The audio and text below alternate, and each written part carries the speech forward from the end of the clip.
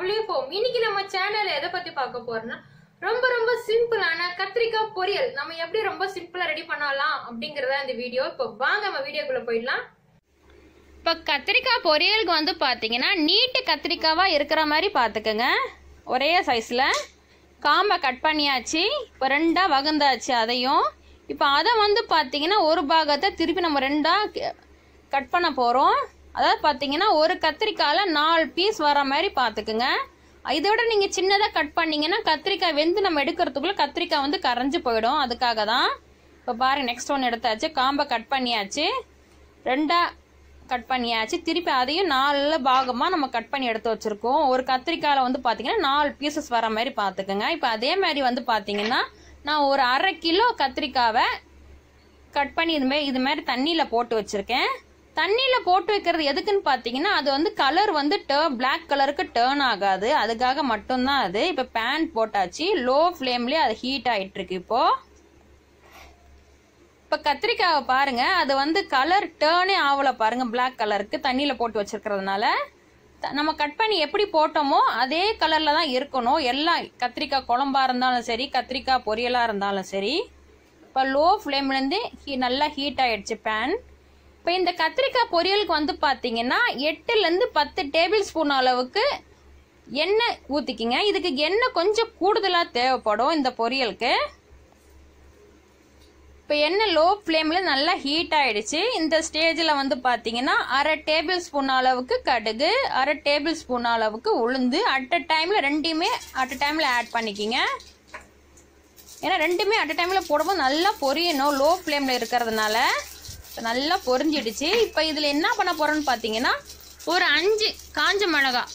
குண்டு மிளகாவாக இருந்தாலும் சரி நீட்டு மிளகாவாக இருந்தாலும் சரி அது காம்பை கிள்ளிட்டு ரெண்டு ரெண்டு பாகமாக கட் பண்ணி போட்டுக்கோங்க. இப்போ எனக்கு நீட்டு மிளகா தான் எங்கள் வீட்டில் இருக்கிறதுனால நான் நீட்டு மிளகாவை ரெண்டு ரெண்டு பாகமாக கட் பண்ணி எடுத்து வச்சுருக்கேன். இப்போ அதில் ஆட் பண்ணிக்கலாம் இப்போது இப்போ நம்ம காஞ்ச மிளகாவை ஆட் பண்ணியாச்சு.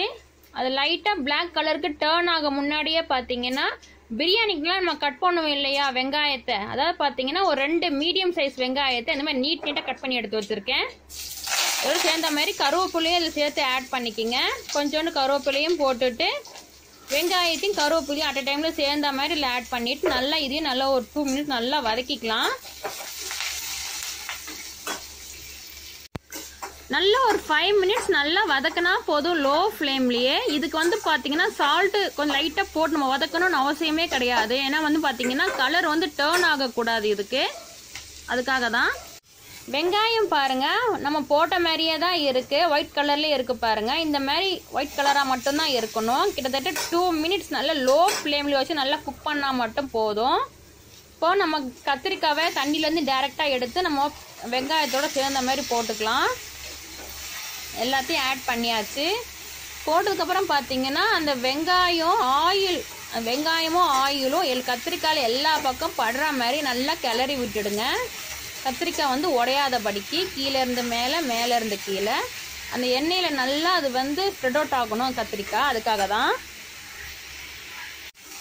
கத்திரிக்காய் நல்லா வந்து ஆயில் நல்லா படுற மாதிரி எடுத்திருக்கேன் பாருங்கள் நல்லா ஆயில் நல்லா பட்டிருக்கு எல்லா பக்கமும். எல்லா கத்திரிக்காயிலையும் இந்த பாருங்கள் கத்திரிக்காய் ஒரு நல்லா எண்ணெயில் நல்லா வதங்கிடுச்சு. இந்த ஸ்டேஜில் நல்லா எண்ணெயை நல்லா அப்சர்வ் பண்ணியிருக்கு கத்திரிக்காய். பார்த்தாவே தெரியுது. இப்போ கத்திரிக்காய் ஒரு நல்லா எண்ணெயில் நல்லா வதங்கினதுக்கப்புறம் பார்த்தீங்கன்னா கால் டேபிள் ஸ்பூன் அளவுக்கு மஞ்சள் தூள். அதையும் போட்டுட்டு நல்லா கீழே இருந்து மேலே மேலேருந்து கீழே கத்திரிக்காய் எந்த விதத்துலையும் உடையாதபடிக்கு மிதமாக திருப்பி விடுங்க. ஏன்னு பார்த்தீங்கன்னா இங்கே குத்தி குத்தி திருப்பினீங்கன்னா கத்திரிக்காய் வந்து உடஞ்சி போயிடும். ஒரு கத்திரிக்காய் பொரியல் நல்லா இருக்காது. பாருங்கள் பாருங்க கத்திரிக்காய் முழுசு முழுசாக இருக்குது பாருங்க. இந்த மாதிரி தான் இருக்கணும் இதுக்கு. இந்த ஸ்டேஜில் சால்ட் ஆட் பண்ணிக்கலாம். உப்பு வந்து பார்த்தீங்கன்னா பார்த்து கொஞ்சமாக ஆட் பண்ணிக்கிங்க. பத்துலாம் நம்ம திருப்பி கூட ஆட் பண்ணிக்கலாம். ஏன்னு பார்த்தீங்கன்னா இதில் வந்து நம்ம மிளகாத்தூள் எதுவுமே நம்ம ஆட் பண்ண போகிறது இல்லை. வெறும் காஞ்ச மிளகா மட்டும்தான். லைட்டாக ஒரு அஞ்சு மிளகா போட்டிருக்கோம் காரத்துக்காக. நல்லா திருப்பி விட்டுடலாம். கத்திரிக்காய் பாருங்க. எப்படி முழுசு முழுசாவே இருக்கு பாருங்க. இந்த மாதிரி தான் நம்ம இருக்கணும் கத்திரிக்காய் பொரியலுக்கு. இப்போ எல்லாம் உப்பு மஞ்சத்தூள்லாம் போட்டதுக்கப்புறம் பார்த்தீங்கன்னா ஒரு டம்ளர் மீடியம் சைஸ் டம்ளரில் ஒரு டம்ளர் தண்ணி ஊற்றுங்க ஊற்றிட்டு நல்ல ஒரு பாயில் ஸ்டேஜ் வந்ததுக்கு அப்புறமா உப்பு வந்து கரெக்டாக இருக்கான்னு மட்டும் நீங்கள் செக் பண்ணி பார்த்துங்க பத்தலன்னு நீங்கள் உப்பை ஆட் பண்ணிக்கிங்க. இப்போ நல்லா திருப்பி விட்டு நம்ம லெட்டு போட்டு இதை க்ளோஸ் பண்ணி வச்சிடலாம் இப்போது இப்போ பார்த்தீங்கன்னா எனக்கு உப்பு கரெக்டாக இருக்குது நம்ம திருப்பி லெட்டு போட்டு க்ளோஸ் பண்ணி வச்சுலாம் இன்னும் ஒரு ஃபைவ் மினிட்ஸுக்கு லோ ஃப்ளேம்லேயே இருந்து குக் ஆகட்டும் அப்படியே இருந்து. இப்போ நம்ம லெட் ஓப்பன் பண்ணி பார்க்கலாம். நம்ம கத்திரிக்காய் பொரியல் தண்ணி எல்லாம் நல்லா சுண்டி போய் கீழே ஒரு டேபிள் ஸ்பூன் அளவுக்கு தண்ணி இருக்கிற மாதிரி இருக்கணும் இந்த கத்திரிக்காய் பொரியலுக்கு. ஏன்னு பார்த்தீங்கன்னா இந்த கத்திரிக்காய் பொரியல் கொஞ்சம் ஜூஸியாக தான் இருக்கணும். அதுக்காக மட்டும்தான். இந்த ஸ்டேஜில் நம்ம கேஸ் ஃப்ளேமை ஆஃப் பண்ணிக்கலாம்.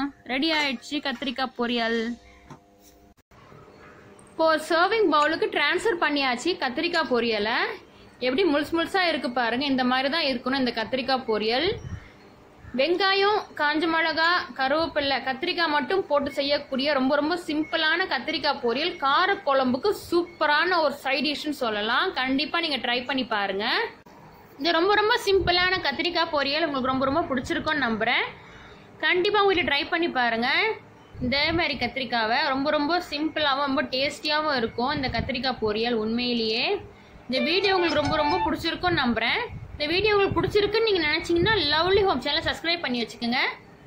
பக்கத்தில் இருக்க பெல்லைக்கன் கிளிக் பண்ணிக்கிங்க அப்போ தான் அடுத்து நான் போட போகிற வீடியோ நோட்டிஃபிகேஷன் வரும்.